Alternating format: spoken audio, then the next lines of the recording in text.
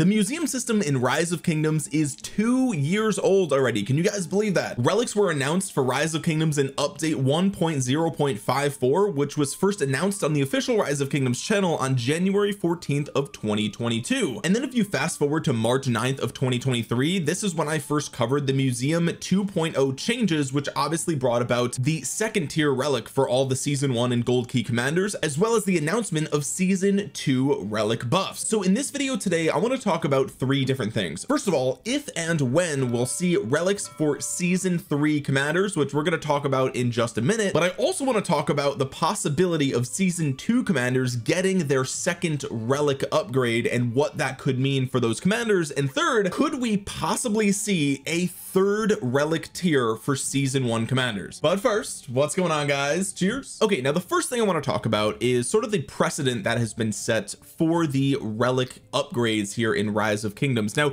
when they released or announced or first discussed the season two relics coming to rise of kingdoms they suggested that these wouldn't be the last relics that were added to the game. And myself as well as many other people suggested okay well that means that every year or every set period of time we're going to see a new batch of relics come into the game for a whole new set of commanders. And this could potentially be Lilith's way of bringing a lot of commanders up to the same sort of tier. And I think that that's a really cool system. However they never actually said that we would guaranteed be seeing more relics for let's say Guan Yu for example. What they could have meant by the fact that we will be getting new relics later in the line is things like Thutmose okay? Or things like Pyrrhus for example. What they could have meant is that the season two commanders are the last like generation of commanders that get the relics but they'll continue to add relics for new gold key commanders. So for example in this coming summer I suspect we're going to be seeing a new civilization just like we have seen for the last few years. And the developers have already hinted at the fact that it will probably be potentially a Mayan civilization. That's kind of what all the evidence is pointing towards. So I just want to be very clear that we may never see relics for season three commanders but some of them definitely need a relic upgrade and that's what we're going to talk about in this video and what I would like to see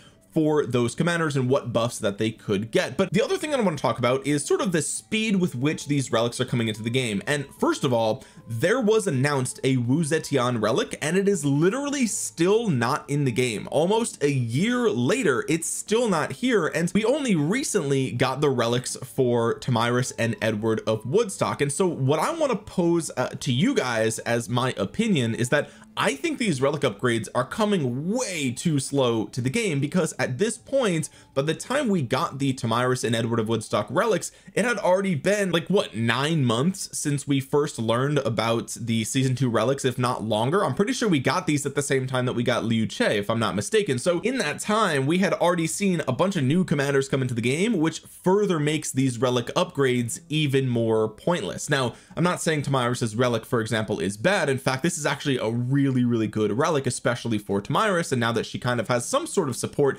with Hermann Prime but what I would like to see moving forward is a, a faster release cycle for these relics. And honestly I'm not really sure why they decided to release them slowly over time because my understanding is that the relic system is a way to sort of bring weaker commanders back up to par. And it's not like you know Edward of Woodstock and Tomyris were the, the commanders that needed this the least. They definitely needed this upgraded just as badly as Saladin and Genghis Khan for example at least in my opinion. So I would like to see the new batches of relics be dropped all at the same time. Or maybe they could do all of the mightiest governor relics all at once and then they could do all of the wheel of fortune commanders all at once maybe three months later or something like that if they want to break it down like that. But I feel like releasing these you know every couple of months it's it's it's too slow because these commanders are already outdated and then if you have to wait nine months for their sort of buff then they're even more outdated by the time that it comes right? So I would like to see these relics come a bit faster moving forward especially because again Wu Zetian where is her relic? We already know it exists and I suspect that we'll probably see it with the next commander cycle release which I think will probably be a sort of ranged leadership hybrid. That's what I think we're going to see for the next commander cycle and perhaps we'll see Wu Zetian's relic drop at that point. But let's just assume for a moment that the season three commanders are also going to be eligible for getting their own relic upgrade. Now if you guys are new to the game you might not remember this but in season three there were commanders exclusive to that season just like there are season of conquest commanders or season two commanders and back then the commanders that were in the season three bracket were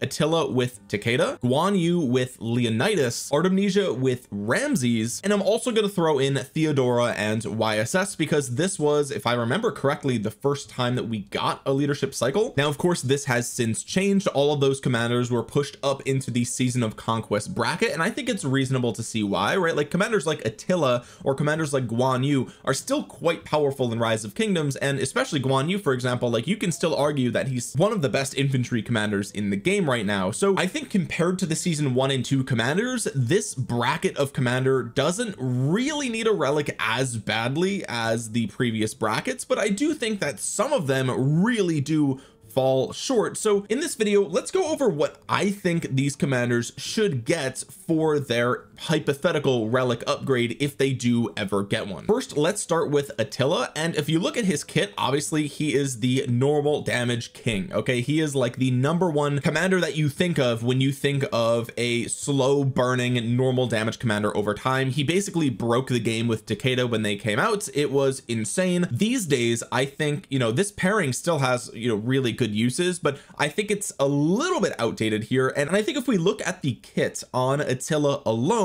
one thing you're going to notice is that the only stats he has is cavalry attack. He doesn't have any other any anything basically. So I'd like to see Attila get maybe 10% cavalry defense. I think it's it's a little bit of a bump in terms of his uh, tankiness right? But it's not so much that he would be like overpowered right? And I think that that's kind of the the the fear with these season three commanders is that if they get too powerful of a relic then they're actually they could be broken right? So also I would give him maybe five percent skill damage taken reduction. Now he already has skill damage taken reduction on his third skill. He takes 15 percent less skill damage. Let's bump that up to 20 percent and just make him slightly more tanky with the with the defense. And I think overall he's still pretty much a complete package. Moving on to Takeda he's really interesting. He's all about the burning status that he inflicts on the target and he makes them take more normal attack damage which is why him and Attila are basically a match made in heaven. But if you look at Takeda's kit he actually has a lot of stats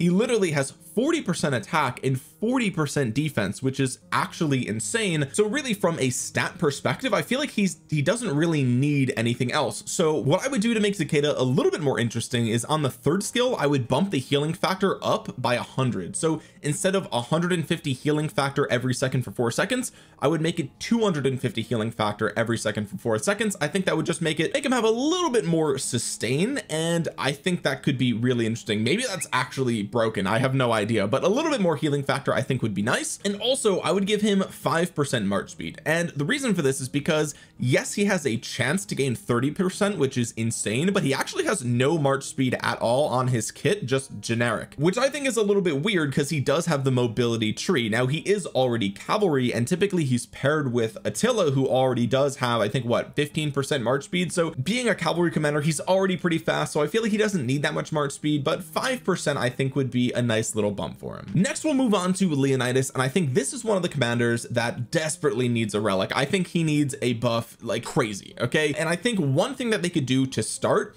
would be to double his AoE damage factor. I think give this a plus 600 damage factor so that way his total AoE is 1200 and that's still which is kind of funny. It is still a really weak AoE if even if they double this right? Now he does still gain 30 percent health here and if the target is silenced it will give it 50 percent 50 percent more damage. So I think that that could really push the boundary as to how much damage he could output here right? So if you pair him with Guan Yu and his base goes up to 1200 then that means the extra 50 percent would bump that up to 1800 which is the same as Artemisia which would put him on the same caliber as those commanders plus a nice little buff here. But if you don't pair him with Guan Yu then it's a 1200 three target AoE which is you know it's still pretty weak. The second thing that I would do because he has the defense tree I wanted to lean in towards the defense factor of him and I would actually have him take 10% less skill damage. I think that that would be nice give him a little bit more tankiness especially if you paired him with Guan Yu again in the open field. But I think there's also an argument to be made here that Leonidas's number one Achilles heel we'll say is that he's super slow. So I, I would say either give him 10% skill damage taken reduction or give him like 10 or 15 percent march speed. I think that that would be really nice especially because he is like he's a Spartan okay? And they're known for their infantry. They're known for being one of the most formidable infantry units in all of human history. And so I think that them moving faster in the open field would make sense. Although I guess you could argue that the phalanx formation was more about defense rather than mobility. So I don't know. But either way I I would I would take either. I would either take the skill damage taken reduction or some march speed. That would be nice. And I think maybe some people would start to use them again at 5511 next up is Guan Yu and I feel like Guan Yu was one of the commanders that needs a relic the least. I think he's just he's still solid in the open field yes there's still something to be desired here but at the end of the day he's still a really good infantry commander. So what would I do to just bump Guan Yu up a little bit? Well I would first of all give him 10% infantry health. I think right now he only has infantry attack and it's less attack than other commanders like Scipio Prime for example who has a flat 40% with 15% march speed. Guan Yu only has 30% with 15% march speed and a little bit of healing factor that's fair but I think he needs a little bit of tankiness and I also would bump his march speed up by 5% I would give him a, a 5% march speed bonus which would bring this up to 20 percent. And I think that again that would put him on par with Scipio, who also has more march speed right? He has 15 percent but when he's outside territory he has 25 percent. Think that having a flat 20 on Guan Yu would kind of be a nice middle ground there. And also this would be great for all those free-to-play players that invested in Guan Yu. Giving him a really solid relic would just make them feel even better about making this investment all those years ago. And I think that that would be that would go a really long way with you know making the community feel good about their previous investments. Next up is Artemisia and this is another one of those commanders that still performs pretty well in the open field. I would say Guan is a little bit more powerful but if you pair Artemisia with Boudica Prime you're gonna have a really good time. She's solid she's got tanky stats nice AoE nice um you know when you remove the self silence you get a nice bonus here to damage which is great. So really she doesn't need that much of a bump here but I do feel like there's a little bit of area for improvement. Now first of all she has defense and health I would give her 10% archer attack on her relic. I think that that's a really small upgrade but it's a stat that she doesn't have on her kit yet and I think that would be really nice. And then on top of that because again she has the defense tree I would make her a little bit more tanky. I would give her 5% normal damage taken reduction okay? I think that that is fair. That makes her a little bit more tanky. And you know if you wanted to see here's the thing right? Like with Leonidas I could see them giving him march speed. For Artemisia as much as I would love her to have march speed in the open field being garrison commander I just don't really think that they're going to do that. I don't think they typically ever give garrison commanders any amount of march speed right? I could be completely wrong about that. So I think that, you know a march speed relic on Artemisia would be nice but I think it's unlikely. I think what's more likely is that they make her even more tanky. And I think you know right now with Liu Che being so powerful I think having her take 5% less normal damage would be would be really good. Next up is Ramses. And Ramses is interesting because he's there's nothing about his kit that's particularly bad. He just doesn't do any one thing super well and he's also an attack tree commander so he's a very like just he's just a very okay commander. I would see he's like a solid like B commander. Like he's he's he doesn't do anything special. There's just so many other commanders to be investing in that you, you never really would go for Ramses. But I think that we should change that. I think if Ramses got and by the way he already has a ton of stats. 40 percent attack which is insane. A 10 percent chance to gain 40 percent more attack and 40 percent march speed which is wild. And he has a chance to gain 40 percent defense. So he does have a lot of ways to get stats and he does generate generally have a lot of stats but I think if they gave him 10% archer health I think that would be nice. I think you know the chance for defense isn't as great as actually just always having tanky stats. So give him 10% archer health I think that would be fine. And then give him 15% march speed. I want to see I want to see Ramses do something. I want to see him move around the map okay? And that's the thing is with his active skill it deals 2000 damage factor to a single target and it has a really nice defense reduction with 30 percent for two seconds. But the thing is that he has to stay connected for those two seconds. And that's not as bad as commanders like Frederick or commanders like Sargon for example but it is still unfortunate that it ticks over two different turns and I think if you gave him 15 percent march speed on top of the fact that he can get 40 percent march speed I think maybe if he was just really fast in the open field then people would use him right? And I think that that's one of the things that archers are missing right now. A lot of the archers right now are really slow and I think that that's a huge problem for archers. So I think it would be cool if maybe maybe that's the niche that a Ramses could fill. He could be the fast archer and I think maybe people would start to use him a little bit more. Then we come into Theodora and Theodora when she came out was interesting. She has this on her expertise. She can dispel poison which I think is going to be even more important now than ever and she's also a generic garrison. So unlike YSS she never really got as much um, playtime. I think YSS still to this day you see in a garrison sometimes but I think the stats on Theodora were just too low. Now if you have her expertise she has a five target circular AoE with 1700 damage factor and a really powerful cleanse. So I actually don't think that you know the damage factor I don't really think is that big of a problem here. I think her active skill is great. What I think she needs is just more stats. She has such small amount of generic stats here that I would give her 20 percent more attack okay? Because uh, she only has 10 percent and I would also give her 20 percent health just generic health okay? Because then that brings her up to 30 percent attack 20% health 10% defense and then all the other things that she has on her kit. Would that be enough to bring her back? Well who knows? I mean with this cleanse maybe that could be enough to make her see a little bit of use but even still I feel like you know maybe that's not enough. I don't know. Maybe she still needs more. Maybe it needs to be 25 25 I don't know. And finally we have Yi Sun-sin and again he kind of falls into the same category as like Artemisia where like he's still kind of used so you don't really need to bump him up that much. But I do think that with like Heraclius coming into the game and stuff like that you do see him a little bit less frequently and I think they should give him 10% skill damage okay? That means whatever you pair him with you know his skill damage is solid but if you pair him with somebody else who does a ton of skill damage then that could be really really good as well. So 10% skill damage bonus is just going to make him hurt a little bit more and also have him take 5% less normal damage. And again this is a kind of a response to Liu Che but really it's just a way to make him a little bit more tanky without him being like busted right he's already solid. He's already still good. Just give him a little bit more tanky stats and I think that would be nice. Okay next I want to talk about the possibility possibility of getting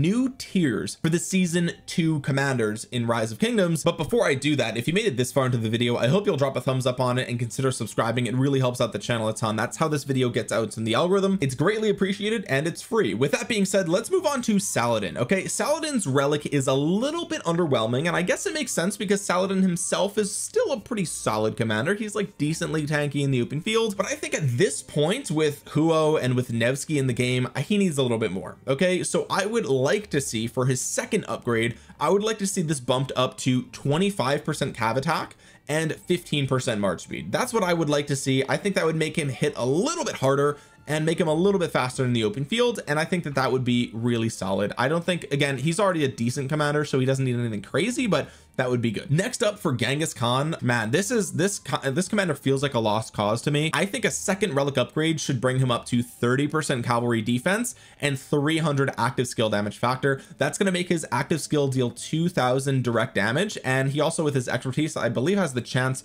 to proc that active skill more often. And the fact that I forgot what his expertise is just goes to show how little I even talk about this commander but yes there's a 30 percent chance of casting a second time. So if they bump this up to 2000 and you got the double hit I mean it would be it's still a worse version of Joan of Arc but like it's it's fine. I think it's fine. But 30 percent defense is greatly needed. He needs the bonus tanky stats for sure. Moving on to Alexander the Great this is another one of those relics that I actually feel like didn't do enough. And I know that that might be kind of controversial because a lot of people run Liu Che with Alexander the Great. I just I don't know what it is guys but I just I can't seem to make him work for me and I feel like he's just a little too squishy. That's how I feel uh, truly. I, I think that's the case. So what I would like to see for an Alexander the Great relic would be to bump this 10% infantry defense up to 25% give it a really nice bump there and then bump the normal damage reduction from 3% to 5% just give it a nice little nudge in that direction okay? But really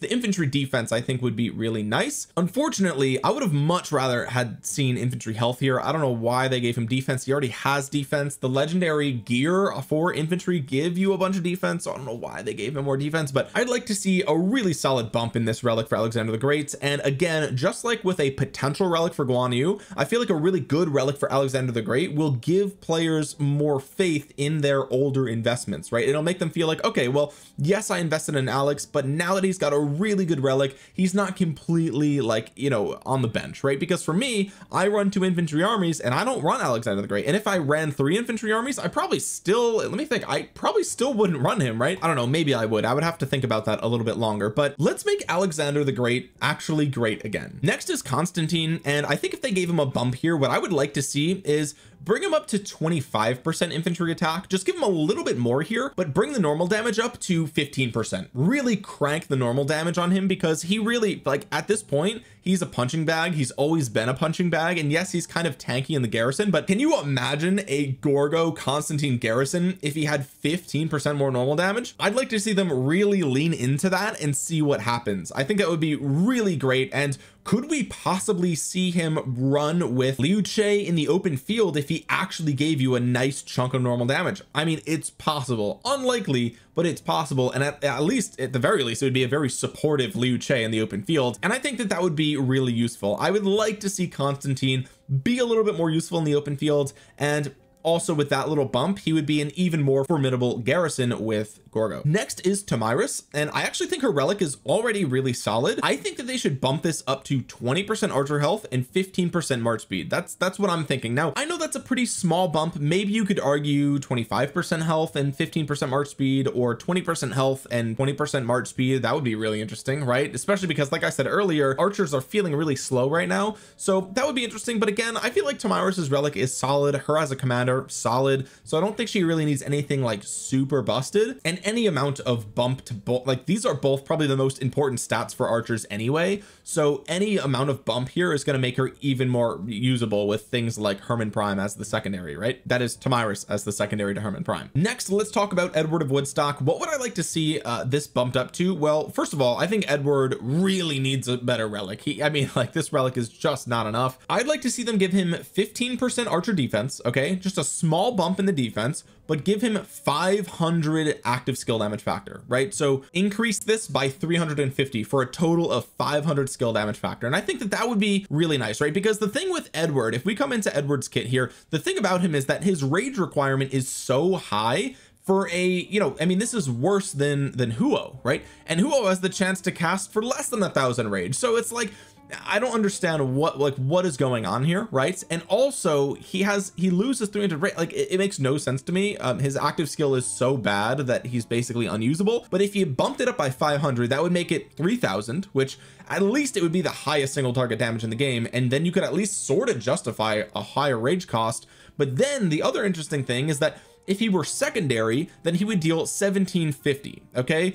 And if he dealt 1750 as secondary then maybe people would actually consider running Edward as a secondary commander right? I mean he's already got 30% march speed and 30% health. I also gave him 15% archer defense plus he has a 25% skill damage bonus. I mean his kit isn't like horrible and if he was usable as a secondary he'd be really fast and pretty tanky. So I don't know. I would see I would say give him a bunch more give him a bunch more skill damage here and see what happens. And finally I guess we'll talk about Wu Zetian. Um her relic isn't even in the game yet. So like I, I believe they confirmed and it's been so long that I can't even remember. So I don't want to mess this up but I'm pretty sure they confirmed some amount of attack and skill damage for Wu Zetian. I can't think off the top of my head the official source for that so I'm not going to mention it here. But what I would like to see for a double relic of Wu Zetian would be 30% generic attack and 15% skill damage. I think that that would be a really solid bump in in relic for her.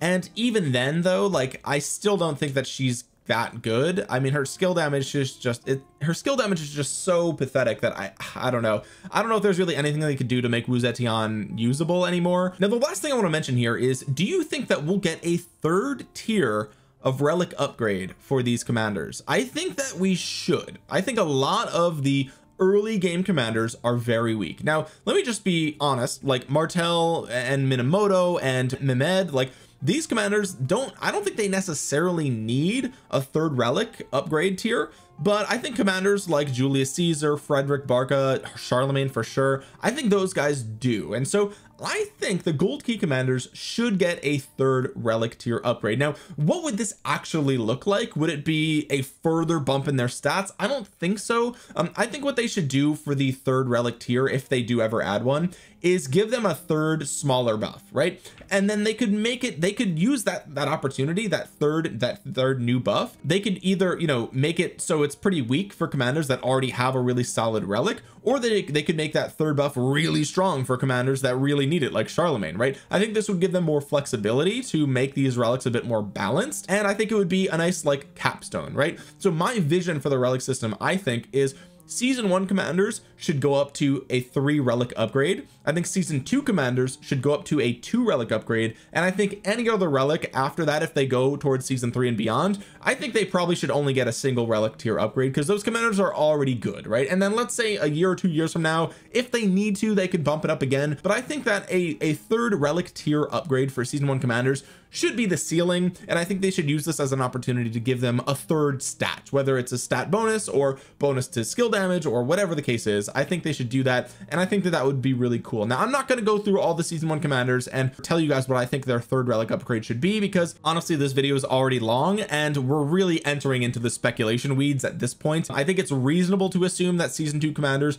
will get a second relic upgrade I don't know if it's as reasonable to assume that season one commanders will get a third relic upgrade because we I mean there's no real precedent for that. But I think they will that's just my opinion. I think they will add a third relic upgrade for these if for no other reason than because these currency can be bought in the shop right? So like at some point players are just going to stop spending this and I think that if they gave players a new incentive then maybe they would. So I don't know. I'd like to know what you guys think in the comment section below. Do you think that season one commanders should get a third relic upgrade? Also what do you think about what I projected for the season three commander relics and the season two commander relics? Do you agree with what I've said? Do you disagree? What would you like to see? Let me know in the comment section below. And again while you're down there drop a thumbs up on the video. It really helps out the channel a ton. It helps get this video out into the YouTube algorithm so other rise of kingdoms players might see it. And consider subscribing to the channel and clicking the bell to be notified the next time I upload a rise of kingdoms video. With that being said guys thank you so much for watching this been Omniarch I will talk to you guys again soon. Peace